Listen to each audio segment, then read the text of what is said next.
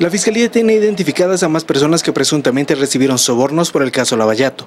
Entre ellos, Carlos Morales, que fue el ministro de Servicios y Obras Públicas de Gonzalo Sánchez de Lozada. Además de Jorge Peredo, gerente general del entonces Servicio Nacional de Caminos, y Mario Moreno, que fue ministro de Obras Públicas en la gestión de Eduardo Rodríguez Belcé. Eh, en realidad, todas las personas que son investigadas han sido ya informadas ante el juez para la ampliación de investigación en contra de otras personas. Sin embargo, se conoció que dos de los investigados ya no estarían en el país.